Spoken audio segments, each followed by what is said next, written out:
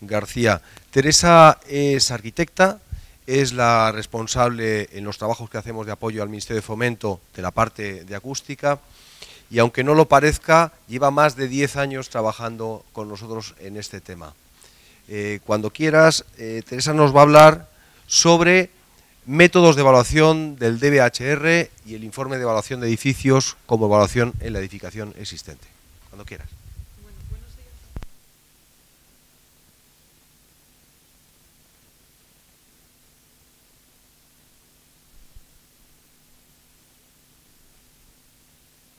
Ahora no. Bueno, lo que iba diciendo, agradeceros vuestra asistencia al seminario y el objetivo de esta ponencia es eh, hablar de, brevemente de los métodos, recordar cuáles son los métodos de evaluación del DBHR, sobre todo vistos desde el punto de vista del proyectista y cómo se justifica el cumplimiento de la normativa. Y lo que me parecía muy interesante era presentar el informe de evaluación del edificio, que en el fondo pues, eh, se incorporó a la herramienta que tiene el Ministerio de fomento para cumplimentar el informe de evaluación del edificio hace poco. Me parecía bastante más novedoso y la ponencia se va a centrar sobre todo en eso. Los contenidos son los siguientes. Primero haré un repaso muy breve sobre cuáles son las opciones que aporta el DBHR, sobre todo a la hora de, de justificar el cumplimiento con la normativa.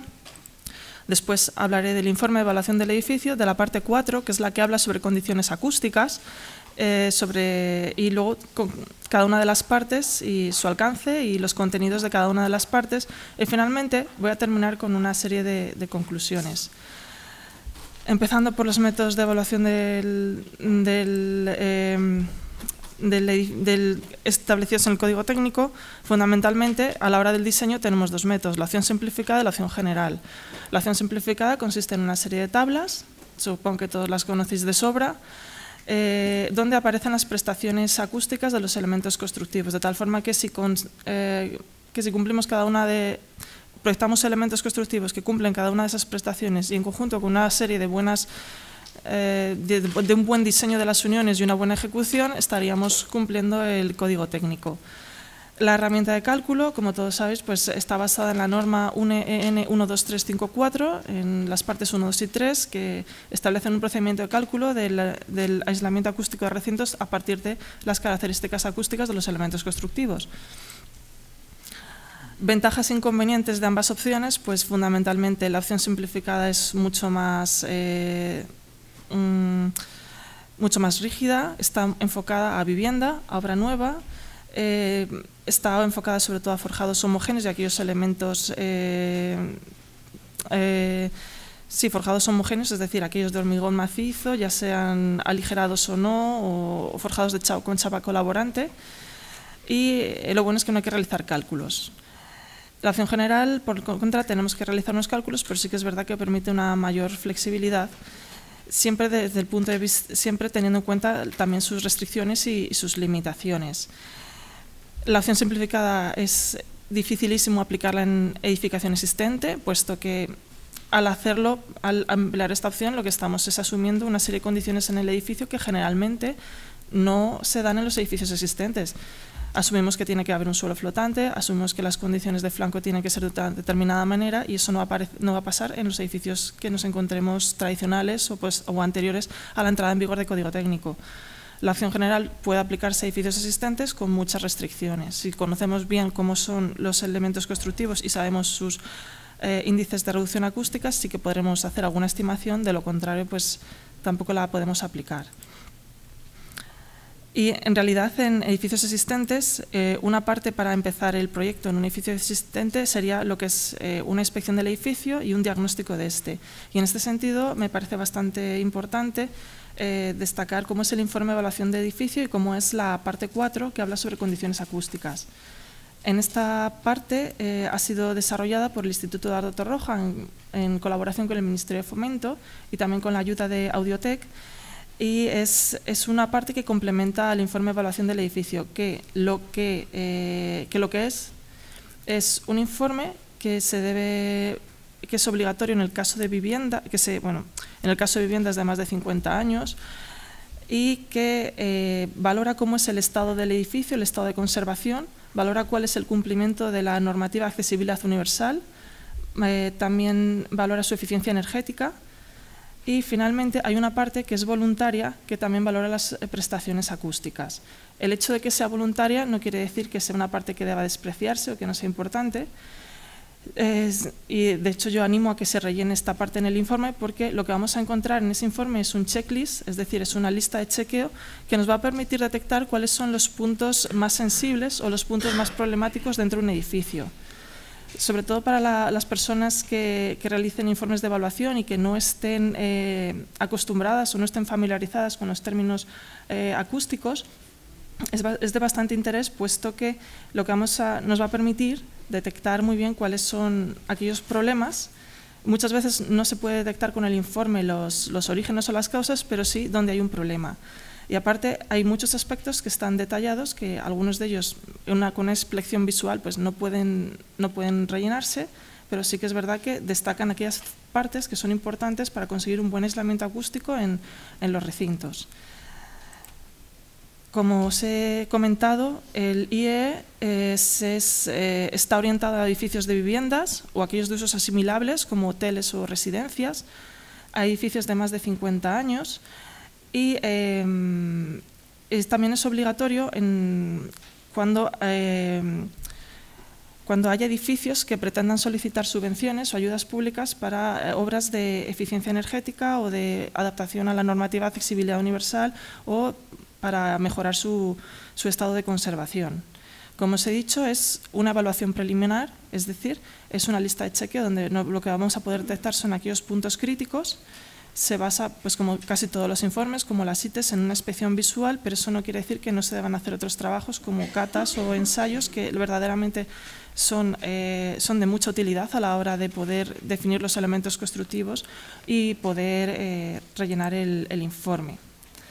y verdaderamente pensamos que es una herramienta bastante válida para hacer un diagnóstico acústico. Y cuando hablamos de diagnóstico en los edificios, pocas veces nos referimos a la acústica, porque estamos más acostumbrados a pues, hablar de, la existencia pues, de, daños, defectos en los edificios, humedades, etc. Pero en el caso de la acústica sería el mismo procedimiento. Primero tendríamos que detectar cuáles son los sistemas constructivos, detectar cuáles son aquellos fallos o aquellas patologías que podrían afectar al comportamiento acústico y realizar finalmente un análisis del mismo. Los trabajos para realizar este, este informe, pues primero la inspección, eh, la inspección el estudio de toda la información previa, todo tipo de documentación de, eh, relativa al edificio, si existe proyecto o no, si, han existido distintos proyectos de reforma, pues todo esto pues, nos aporta mucha información sobre el edificio, la visita, el levantamiento de planos, fotos, eh, si es posible realizar catas o calas, lo cual pues sabemos que muchas veces es muy muy difícil, porque además para determinar algunos aspectos, por ejemplo, si existe material absorbente en una cámara o cómo son los cerramientos, tendríamos que hacer una cala grande para poder ver qué es lo que hay dentro. Y finalmente una herramienta que me parece muy muy útil, que es la realización de ensayos, que eso sí que nos va a decir en qué situación está mi, mi edificio respecto al aislamiento acústico. Y por último, un tema que es muy importante es preguntar a los usuarios, porque verdaderamente ellos saben qué es lo que les molesta. Una precisión que hay que hacer antes es que el informe de evaluación del edificio es un informe que valora globalmente la situación acústica del edificio, pero todos sabemos que la calidad acústica se mide recinto a recinto, porque al final podemos tener un edificio que eh, acústicamente que podemos valorar global, pero porque está muy bien, pero a lo mejor hay determinados recintos, determinadas viviendas situadas al lado de un grupo de presión o de los ascensores que verdaderamente tienen muy muy poca eh, que verdaderamente tienen problemas de ruido y, están, y, no son tan buenas. Y todas estas circunstancias se pueden marcar en el, en el, en el informe en, los apartados correspondientes de, observaciones. Y para todos aquellos que eh, no estén familiarizados con la acústica y que quieran aprender algo más, sí que os recomiendo que eh, que se descarguen la guía de aplicación del DBHR, donde muchas veces en esta guía se, se explica mucho de los conceptos que están también detrás del informe de, de evaluación del edificio. Es muy importante eh, ver que, a pesar de que este informe es voluntario, sí que pensamos que gracias, o sea, que gracias a este informe se puede hacer un diagnóstico, se pueden detectar puntos, puntos que son problemáticos y que pueden afectar a los usuarios, que muchas veces los usuarios asumen como imposibles de solucionar, y que verdaderamente sabemos que cada obra de rehabilitación pues, es una buena oportunidad de mejorar algo las deficientes condiciones de los, de los edificios en los que vivimos y que muchas veces somos también conscientes de que tenemos problemas de ruido y la buena noticia es que hay soluciones técnicas y quizá en las obras de rehabilitación se puedan implementar estas, estas soluciones para mitigar los problemas de ruido. Entonces, pasando ya en concreto a lo que es el informe de evaluación del edificio y las partes que lo componen, eh, el informe consta de cinco partes, que son estas. Primero, hay una parte de datos generales, otra parte que son las condiciones de protección frente al ruido, que es la parte más, más extensa del, informe y la que contiene, eh, la que hay que hacer una descripción de los eh, elementos constructivos, los que nos protegen del ruido exterior, es decir, las fachadas y la cubierta, las particiones interiores verticales, las horizontales, hay un apartado también de uniones, y también hay un apartado sobre ruido de instalaciones y recintos de actividad. Una vez se ha realizado esta parte, el técnico debería hacer una valoración eh, y también el informe contiene unos apartados sobre las recomendaciones de mejora. Son las medidas, el potencial de las medidas, como ha destacado Luis Vega en su ponencia, y un apartado sobre transversalidad, que es eh, que lo que indica cuál es la influencia de unas eh, obras de mejora en otros aspectos del edificio, como pueden ser el aislamiento térmico o eh, la ventilación o la protección pasiva frente al fuego. Y finalmente hay una parte donde el técnico adjunta todas las pruebas que, que apoyan ese, ese informe. Entonces, empezando por los datos generales, Básicamente, la parte de datos generales lo que hace es ubicar al edificio dentro de, eh, dentro de los niveles de ruido exteriores que, le afectan.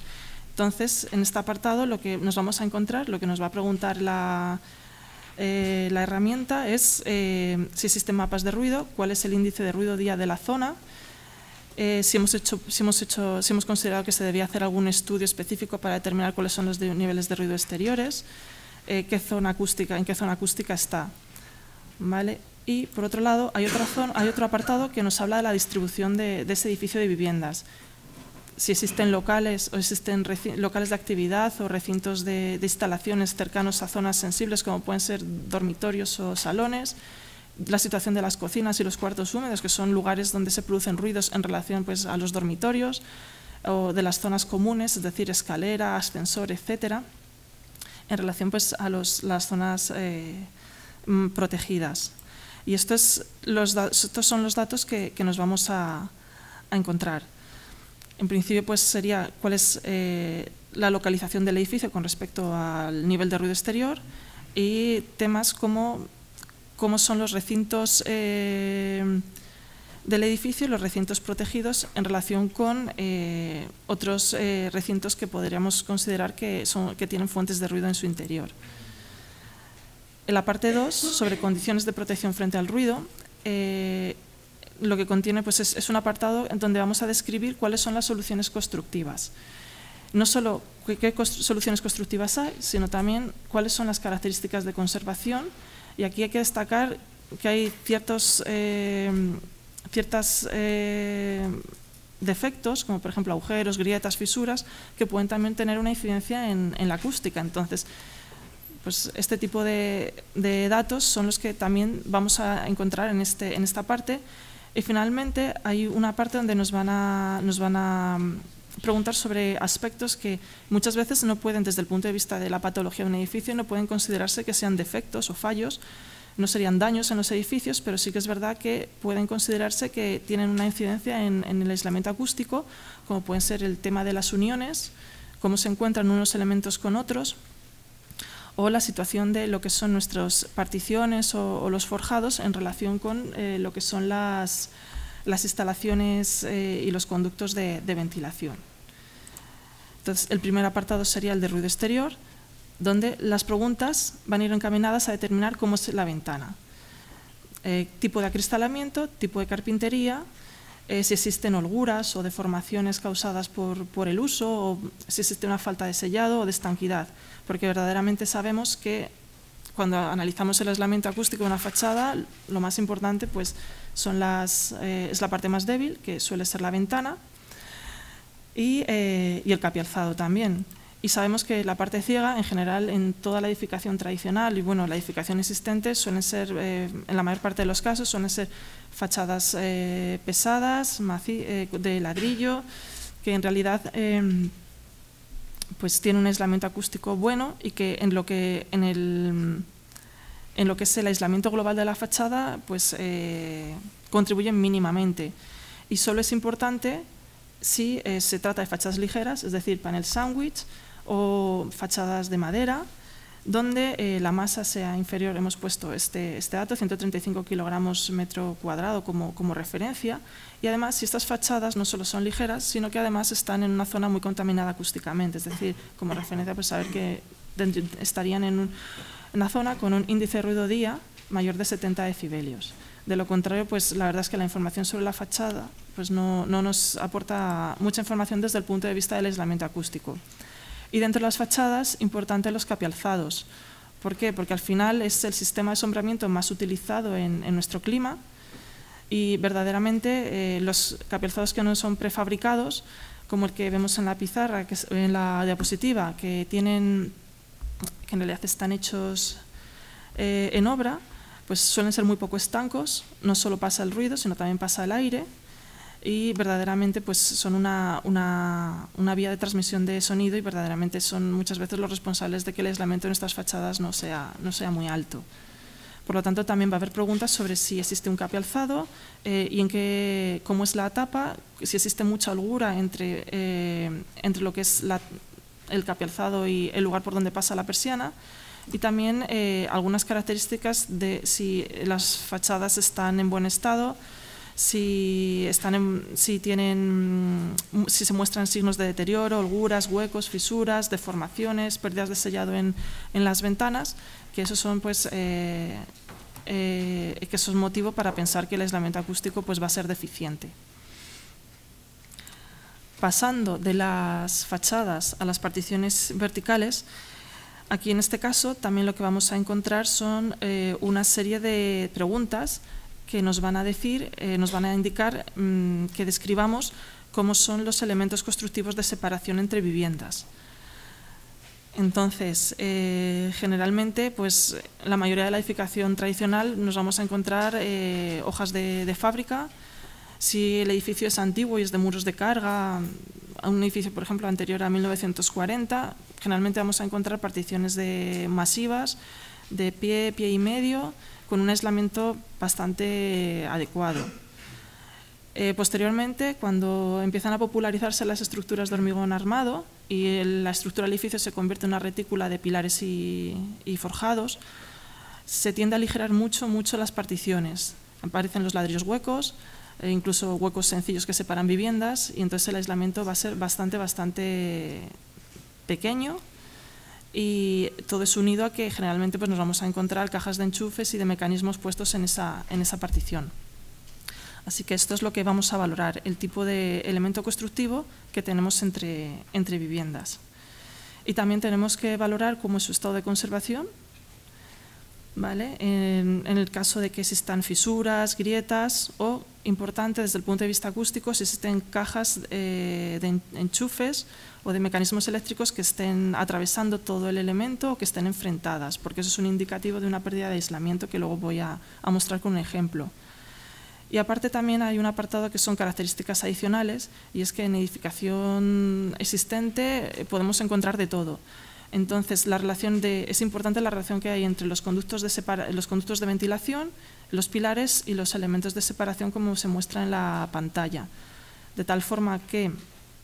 eh, por ejemplo, podemos tener el caso de eh, conductos de ventilación que estén comunicados entre viviendas y que en el fondo, a pesar de que, como en la pizarra, se ha construido una separación muy adecuada y muy bien ejecutada, pues al final existe una rejilla que pone en contacto dos viviendas, hay una transmisión aérea cruzada y por lo tanto pues quizá hasta las conversaciones se, pueden oír. Entonces, este tipo de circunstancias también son aquellas que se deben incluir en el informe de evaluación del edificio.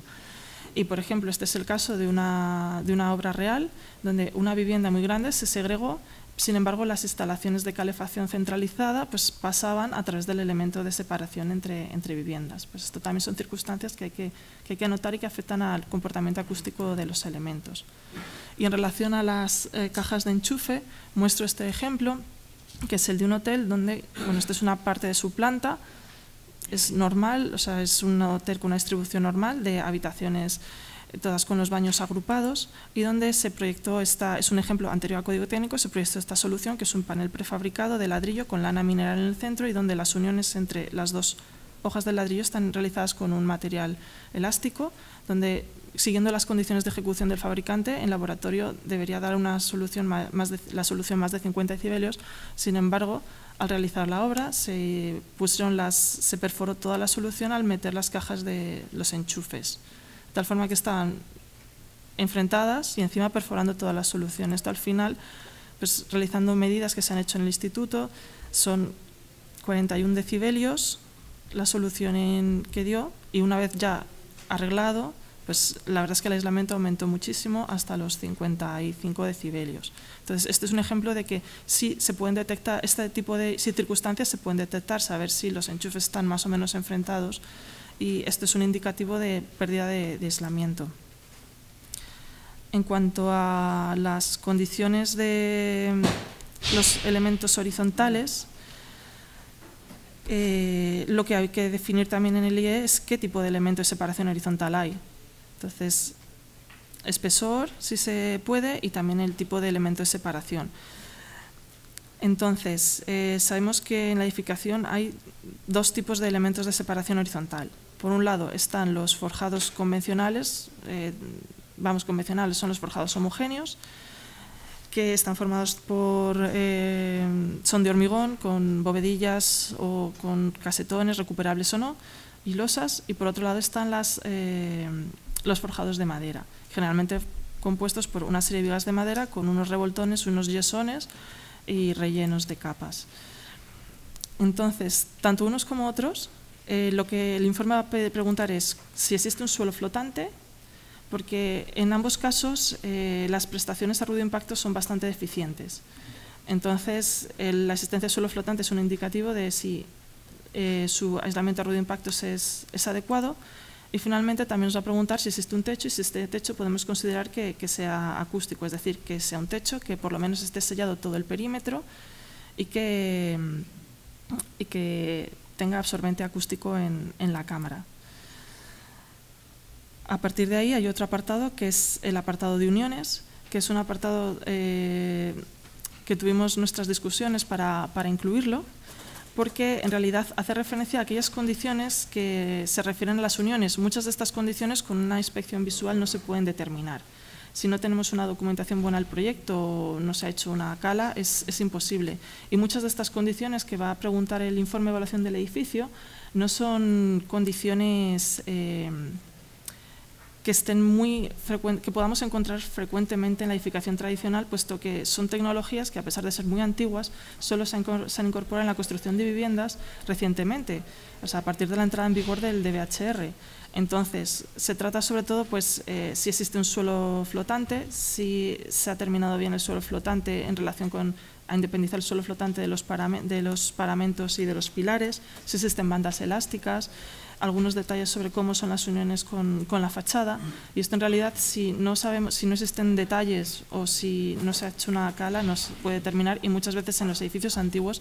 eh, ni siquiera podemos contestar a estas cuestiones. Pero sí que nos parece importante eh, incluirlas porque son temas que afectan bastante al aislamiento acústico. Entonces, eh, también queríamos hacer un poco de pedagogía y de difundir algunos conocimientos que los técnicos, que en muchos casos van a enfrentarse a este informe y no van a tener a lo mejor muchos conocimientos sobre el comportamiento acústico, van a necesitar. Y luego también hay un apartado que es ruido de instalaciones y en este caso está dividido en cuatro partes. Primero, lo que se refiere a los recintos de actividades y recintos de, instalaciones. En instalaciones también están englobados los recintos de actividad, puesto que al final, tienen desde el punto de vista del código técnico, tienen la misma exigencia. Eh, hay otro apartado que habla de la situación de equipos, si estos están en zonas exteriores, están en la cubierta y pueden afectar a otros recintos del edificio. Eh, trata también de las redes de conductos y también de algunas, eh, de algunas instalaciones, como por ejemplo las maquinarias de los ascensores, las puertas de garaje o por ejemplo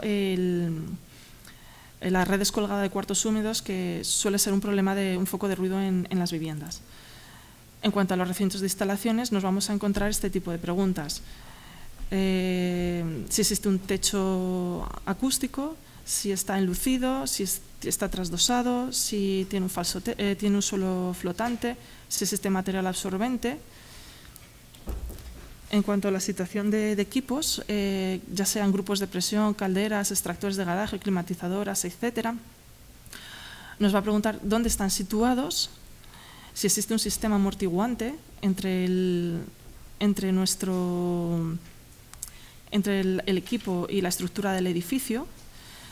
y eh, si existen y si las, mm, los pasos de las tuberías eh, de ese equipo con los paramentos están bien selladas. También vamos a ver preguntas que van a corresponder a la red de instalaciones y que inciden en aquellas partes como por ejemplo eh, si existen codos cerca de recintos protegidos porque entendemos que bueno que al final codos en bajantes tiene que haber, al final las bajantes se tienen que eh, se tienen que desviar en algún momento, pero si estos codos están en zonas sensibles como un dormitorio, sí que es verdad que es un punto potencial de una molestia bastante grande del edificio y que este fallo de diseño es difícil de subsanar luego, luego en obra. También hay apartados sobre instalaciones y, de ascensores, cuartos húmedos, etcétera, y generalmente lo que nos va a preguntar es si existe un sistema amortiguante, cosas que podemos detectar a simple vista, y si eh, los, el cuadro de maniobras está sujeto con elementos elásticos o amortiguadores. Y aparte también eh, hay preguntas sobre la red descolgada de cuartos húmedos, ya que es cuando la red descolgada de cuartos húmedos atraviesa el forjado y discurre por el recinto inferior, generalmente eh, podemos escuchar pues, todos los ruidos de la instalación, entonces saber si está sellado, si tiene un falso techo acústico, si tiene abrazaderas elásticas, si los eh, pasos de la red descolgada de cuartos húmedos con los otros elementos constructivos están correctamente sellados eh, de forma elástica, etc. Es importante destacar que el tema de ruido de instalaciones eh, está muy orientado a instalaciones propias de edificios de viviendas. ¿vale? Y además, este apartado eh, nos va a definir dónde están los problemas, ¿vale? cuáles son los puntos críticos, pero muchas veces con una simple inspección visual no podemos determinar cuáles son las causas que generan esos problemas. Es decir,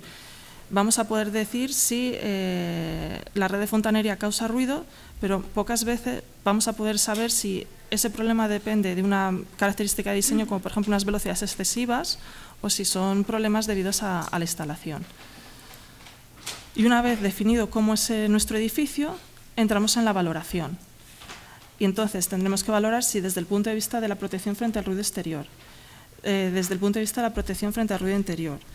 eh, particiones verticales, horizontales, si desde el punto de vista de la protección frente al ruido de impactos y del ruido de instalaciones, si nuestro edificio es bueno, razonable, regular o deficiente. Y en este sentido, no existen recomendaciones, cada edificio es de una manera, y no hay edificios de libro, entonces eh, la valoración es algo que debe hacer el técnico en función de lo que haya visto en el edificio, lo que le, el, feedback que haya recibido de los usuarios y los problemas que sean más, más importantes.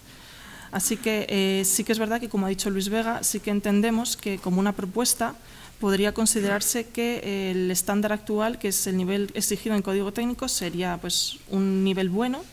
y a partir de ahí, como entendemos que la edificación y nuestra experiencia en edificación existente es que las prestaciones son menores y en algunos casos bastante menores,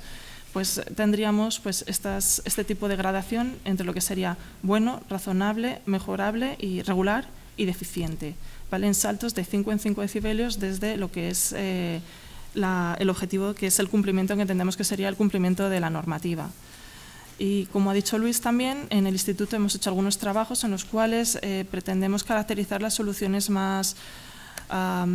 más normales que nos encontramos en la edificación existente. Generalmente ya os he comentado que suelen ser fábricas, las más antiguas, eh, generalmente Son fábricas de más de un pie de espesor con un aislamiento que podemos decir que es bastante es razonable, cercano a los 50 decibelios. Y a partir de ahí, cuando se empiezan las eh, soluciones a aligerar, pues tendríamos eh, resultados eh, regulares e incluso deficientes. Estos, los estudios que hemos realizado muchas veces corresponden con valores calculados, pero otras veces corresponden con resultados realizados en, ensayos y comprobados, en ensayos in situ. Y en el caso de forjados, cuando se trata de forjados homogéneos, es decir, aquellos forjados de hormigón, generalmente lo que tenemos es que el aislamiento a ruido aéreo es bastante razonable, porque cuando hablamos de forjados o de elementos de separación horizontales en edificación existente, en realidad pocas veces hay un suelo flotante, es decir, pocas veces hay una lámina antiimpacto elástica que separe nuestro, eh, nuestro solado de la estructura del edificio. Entonces, generalmente nos encontramos con un forjado más una gran cantidad de capas de relleno, de nivelación, que al final lo que hacen es aumentar la masa, aumentar el, aislamiento. Y generalmente en, torno, en el entorno de los 350 kilos, 400, tenemos unos aislamientos razonables a ruido aéreo. A ruido impacto, lo del aislamiento es eh, deficiente, ¿vale? porque al final son, encontramos valores pues, cercanos a los 80 decibelios de aislamiento a ruido de impactos. Y en el caso de forjados de madera, las circunstancias son muy, o sea, son, dependen mucho de lo que nos encontremos. Aunque no sean elementos que podamos clasificar como homogéneos, sí que es cierto que al final están llenos de capas de relleno y en función de cantidad de esa masa y de esas capas de relleno, pues tiene una prestación mayor o menor. En este ejemplo de un forjado medido, eh, la masa eh, es 200 kilogramos, es bastante ligero, el espesor son 21 centímetros, y las prestaciones son 48 y 67 que no llegarían a cumplir el código técnico. Sin embargo, otro tipo de forjado, también en edificación tradicional, con un espesor total de 40 centímetros, eh, tiene unas prestaciones bastante mayores, sobrepasando lo que son las exigencias del código técnico. Así que en función de las capas de relleno, en el caso de forjados de madera, tendremos unas prestaciones u otras. Y una vez realizada la valoración, llega el momento de definir cuáles son las medidas de mejora si es que las hay. Y en este sentido hay que describir la medida, hay que hacer una evaluación técnica en la que se contemplen los aspectos técnicos, pero también entiendo que los aspectos urbanísticos y los aspectos de protección del patrimonio. A veces las medidas no podrán ser posibles porque urbanísticamente no sean posibles o porque no interesen o porque eh, haya algún tipo de protección en este edificio. Y también una valoración económica. Y también analizar cuál es el potencial de esas medidas. Entonces, eh, en función de, nuestro criterio debemos decir si con esa medida alcanzaríamos eh, un nivel alto de protección frente al ruido, medio o, bajo. Y también es importante pensar que el edificio es uno, la obra de rehabilitación no es que sea acústica ni que sea térmica, es decir, hay una obra de rehabilitación y entonces eh, hay que valorar eh, cuál es la incidencia de unas medidas propuestas en relación a otros aspectos, a otros aspectos del edificio. Y voy a pasar muy alto por las medidas de mejora, pero voy a dar algunas ideas. Frente al ruido exterior, cuando tenemos problemas de ruido exterior, lo principal es sustituir, generalmente el problema suelen ser las ventanas, entonces la principal medida es la sustitución de estas ventanas por ventanas estancas con, con calzado prefabricado, eh, ventanas de clase 3, vidrios dobles, vidrios eh, asimétricos laminados, etc. O si no, una ventana doble. Y sí que es cierto que a menos que la fachada o la cubierta sean ligeras, es decir, paneles sándwich, paneles de madera, y esté en una zona muy contaminada acústicamente, el índice, es decir, con un índice de ruido día de 70 decibelios, las actuaciones en muro de fachada no conducen a un aumento del aislamiento acústico. Y esto es, esto es importante recalcarlo porque ahora mismo con la rehabilitación energética se hacen muchas rehabilitaciones con SATES y verdaderamente eh, no afectan mucho al aislamiento acústico y de hecho tendríamos que hablar mucho porque incluso en algunos casos eh, ni siquiera aumentan, sino que pueden disminuir un poco su aislamiento. En cuanto a las medidas de, mejora de las particiones verticales, todos sabemos que la primera aplicación y casi perceptiva en el caso de que existan rozas o el muro no esté bien, bien no sea estanco, sería la aplicación de enlucidos de yeso, mortero y sellado y el perímetro de, de los trasdosados o de los muros, la inserción de los materiales absorbentes en las cámaras, que podría ser una solución, aunque lamentablemente tampoco tiene mucha incidencia en lo que es la prestación final, eh, la inclusión de trasdosados de placas de yeso laminado adheridos autoportantes por una o, por las dos caras, o los trasdosados de ladrillo eh, con bandas elásticas y material absorbente en la cámara. Es importante también, como ha dicho Luis Vega, el tema de las uniones, puesto que eh, al final lo que se pretende en acústica es hacer el efecto caja dentro de caja, es decir, eh, de solidarizar los dos recintos y limitar las transmisiones por flancos que pueden observarse pues, en esta diapositiva en el cual pues, la hoja exterior de la fachada comunica dos recintos directamente y al final la prestación de aislamiento acústico, por mucho que sea trasdosado y se haya ejecutado muy bien esa solución, no, es, no produce un gran aumento del aislamiento acústico, sin embargo ejecutando un corte en la hoja interior de la fachada sí que es cierto que, eh, que se consiguen unos valores de aislamiento bastante cercanos, bueno, paso sobre, que sobrepasan el código técnico. En cuanto al ruido interior de particiones horizontales, la principal medida es, en el caso de ruido impacto, es instalar un suelo flotante, es decir, un material elástico entre el solado y la estructura del edificio. Entonces,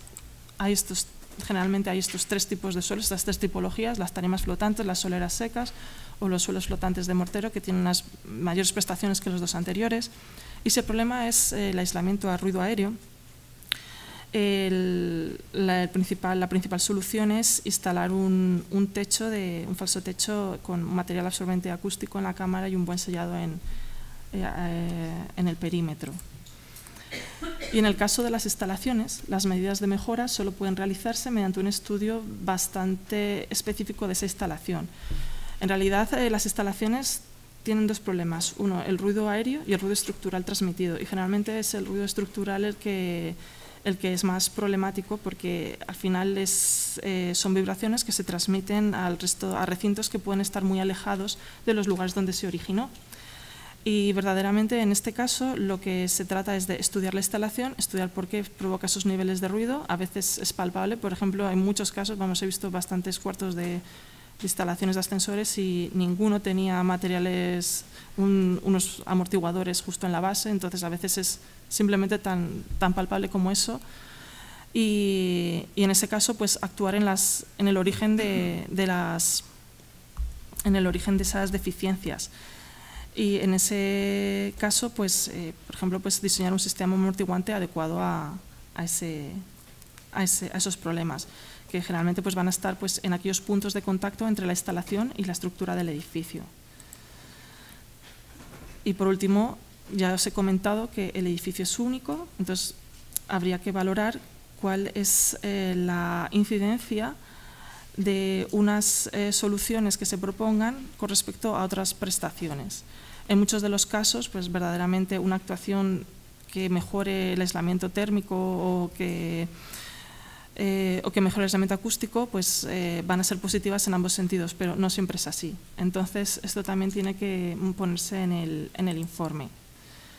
Y finalmente, como os he dicho al principio, eh, para hacer el diagnóstico acústico